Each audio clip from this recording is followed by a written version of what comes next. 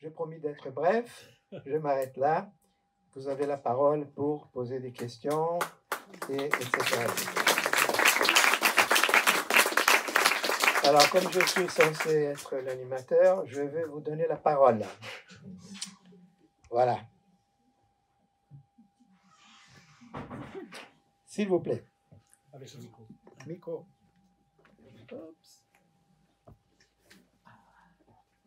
Je voudrais soulever un point dont on n'a pas parlé, qui est la, lutte entre forces syndicales et le syndicalisme authentique, qui a eu lieu bien avant l'élection du PT euh, et qui s'était terminée par une grande victoire de force syndicale. Force syndicale était le premier syndicat avant le syndicat du PT, avant les élections euh, qui ont donné la victoire au PT, bien sûr. hein. Et là, dans, cette, dans ce conflit là, qu'il y avait, alors dans ce conflit qu'il y avait entre forces syndicales et le, et le- ah bon, dans le conflit qu'il y avait entre forces ah bon, dans le conflit qu'il y avait entre forces syndicales et, le PT, c'était un conflit en fait entre une tendance qui venait de la théologie de la libération, qui était représentée par euh, Lula, etc., et toutes ces tendances dont tu as parlé, qui étaient des marxistes, qui étaient dans l'opposition à Joachim Medels, et qui euh, ne sont pas arrivés à s'entendre.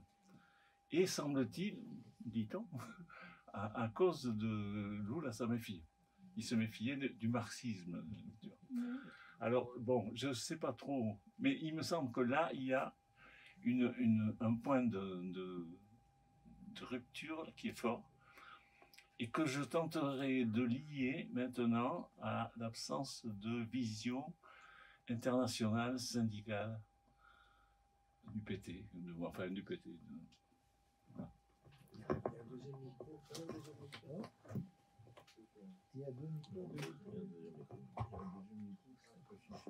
Bon, pendant qu'on cherche le deuxième micro. Bon, merci. hein, merci pour ces points euh, de... Ouais, il y a une question. Et d'autres commentaires? Oui. Est-ce que vous pouvez faire un parallélisme entre euh, l'âge Valéza On, on a un micro là. et les différences et les identités? C'est à moi la question Ben, À vous trois, Oui. Ah, c'est un vaste sujet. Vaste sujet. Euh. Oui, on peut dire qu'il y a un parallèle, sans doute, sans doute. Au début, en tout cas au début, au début, Lech est aussi un ouvrier qui euh, organise des syndicats contre un régime autoritaire qui ne les autorisait pas. hein, c'était le cas en Pologne.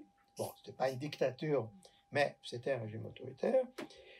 Et euh, il a réussi à organiser euh, ce, ce sy- syndicat d'abord clandestin, euh, ensuite euh, plus ou moins toléré.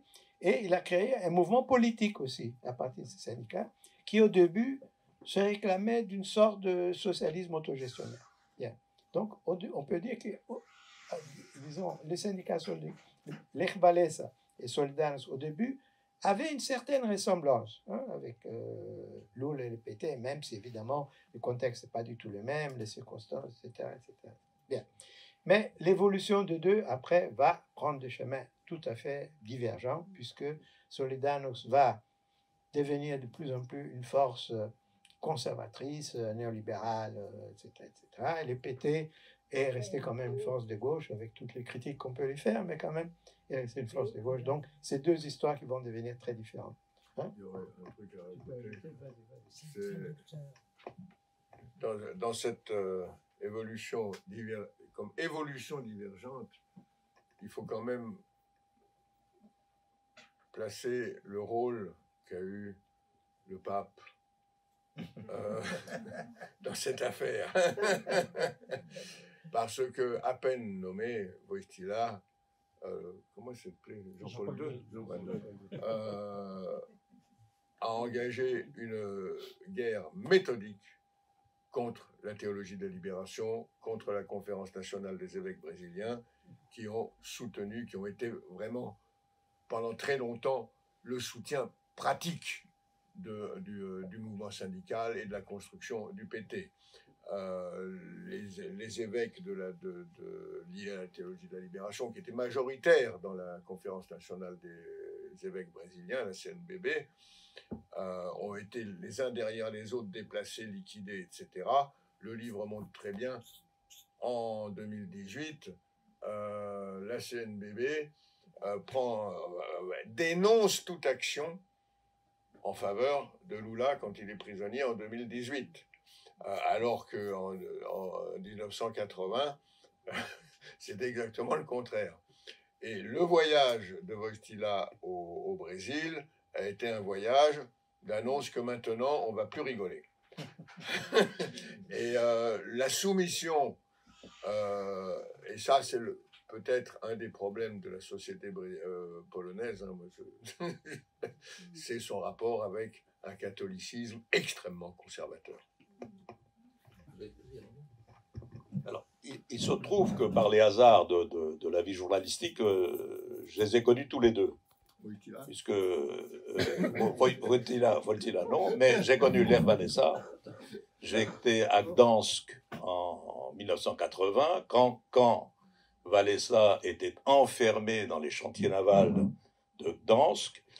J'ai été pratiquement le premier journaliste à faire un entretien avec lui quand il est sorti des chantiers, après avoir signé les célèbres accords avec euh, le parti. Vous vous souvenez que euh, il a signé un accord avec le parti qui a dû céder, le parti communiste qui gouvernait la Pologne, et un an après, euh, le parti n'avait plus la possibilité de contrôler Solidarność. Il y a eu un premier congrès de Solidarność qui s'est tenu, j'y étais, et à l'issue de ce congrès, euh, il y a eu un coup d'État militaire et on s'est retrouvé avec cette situation parfaitement surréaliste où un pays euh, dirigé par le Parti communiste avait comme principal ennemi la classe ouvrière et, comme principal dé défenseur l'armée, les forces armées, avec le général Jaruzelski au pouvoir. Et ce que je veux dire, c'est que Valessa était un tribun hors pair. C'était un orateur absolument formidable. Et euh, une chose qu'on nous n'avons pas dit encore, on n'a pas tout dit, c'est que euh, Lula est un orateur absolument formidable. Il a évidemment une origine populaire, il n'a pas, pratiquement pas fait d'études, mais euh, sa rhétorique oratoire est absolument subjugante. Il a d'abord une voix qui est une voix rauque, très très rauque. Il a comme s'il a eu d'ailleurs un cancer de la gorge, mais a, il a une voix extrêmement rauque.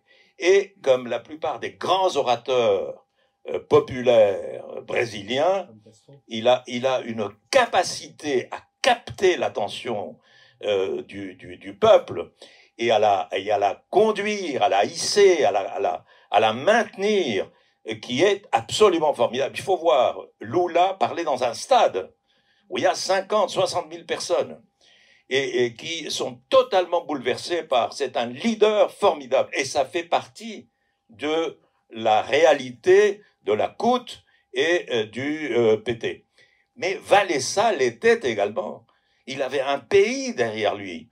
Et tous les intellectuels, les grands intellectuels polonais, Kolakowski, euh, Couronne, tous ces intellectuels suivaient Valessa, qui n'était qu'un ouvrier un ouvrier des chantiers navals, mais qui était mille fois plus capable de bouleverser, de mobiliser un peuple. C'est Lula, malgré, c'est Valessa, malgré tout, avec la révolution euh, Solidarność qu'il faut bien appeler euh, en Pologne, qui a fait euh, tomber le mur, finalement, au bout d'un certain temps. Et Lula, à l'envers, il y a d'autres personnages, Michael, qu'on pourrait citer, et qui fait partie de ce mouvement PT-écoute, c'est euh, João Pedro Stedile, qui est le fondateur du mouvement des Centaires. Le mouvement des Centaires, c'est tout simplement le mouvement social le plus important du monde, qui a une dizaine de millions de membres, qui sont tous des paysans sans terre, tous chrétiens.